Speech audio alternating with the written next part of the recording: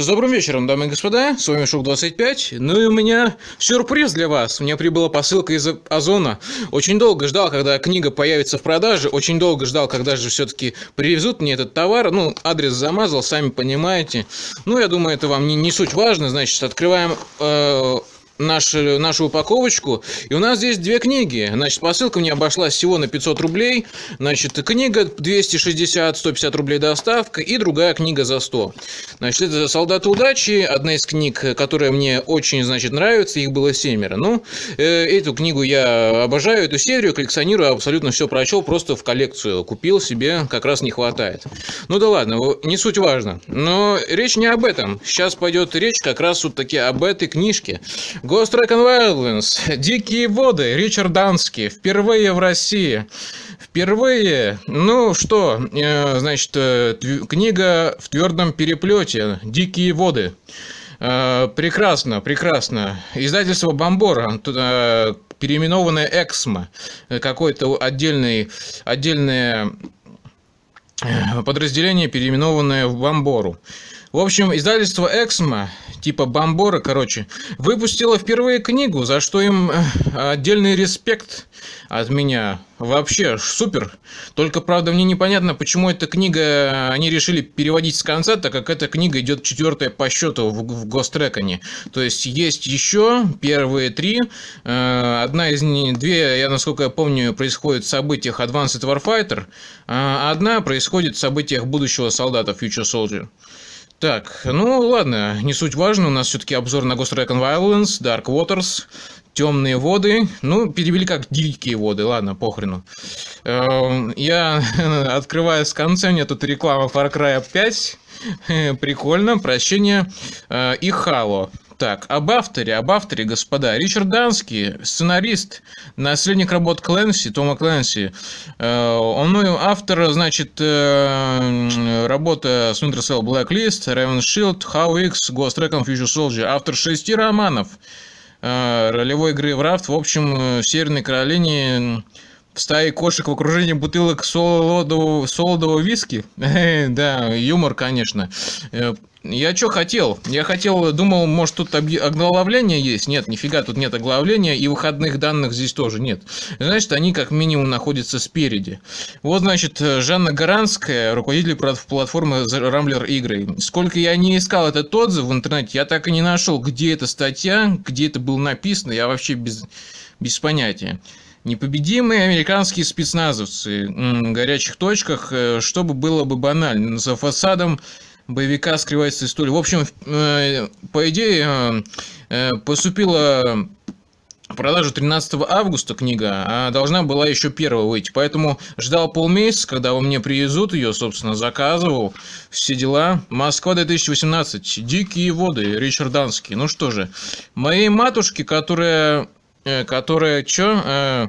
Одну секунду, сейчас поднастроится. Которая всегда хотела, чтобы я написал что-нибудь со счастливым концом. Ну, Чувак написал что-нибудь. Итак, кто у нас тут перевод? Переводчик, переводчик кто? А, подождите, тираж 3000 экземпляров, э, собственно, ребята, э, э, успейте раскупить все, то есть 3000 экземпляров это довольно много, и то есть я думаю всем хватит, и думаю, что она раскупится, ну год за два раскупится точно. Battlefield в свое время раскупилась, и сейчас ее больше просто не найти.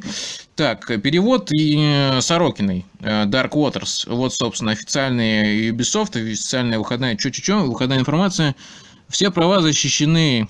Книга не может быть скопированная в электронной механической форме. А, ну извините, я типа права сейчас нарушу. Не, я думаю, с Ютуба никто это читать не будет. Ну ладно.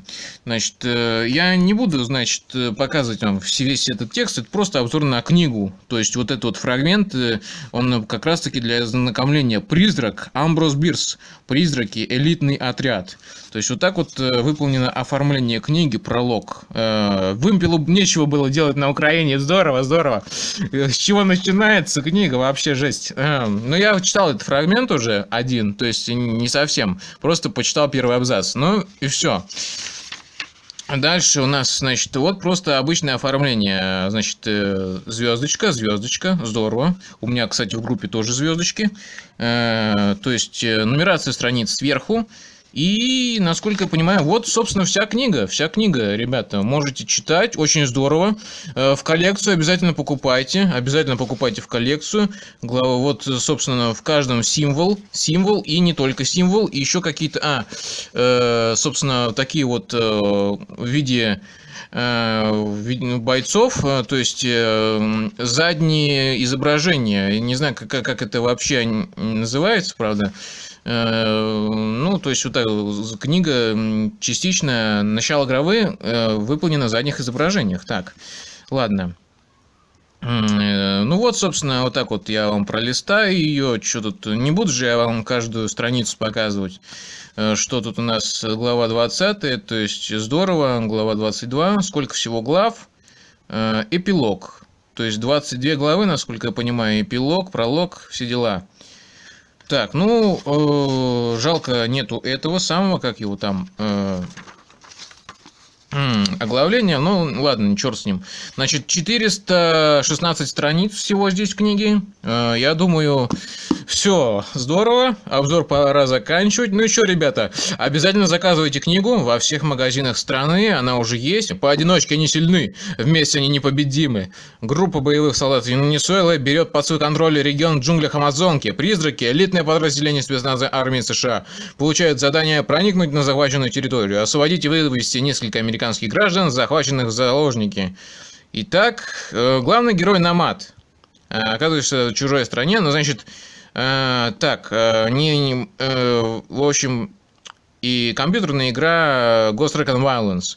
Э, единственное, я не знаю, события, где происходит после игры. Мне кажется, что события происходят как раз-таки после игры.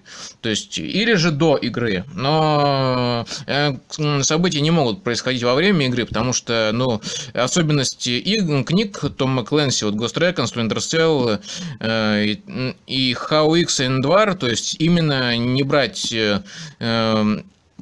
ну, игровую, то есть а, все персонажи, но происходят совершенно другие события. То есть они не берут в основу сюжетные повороты.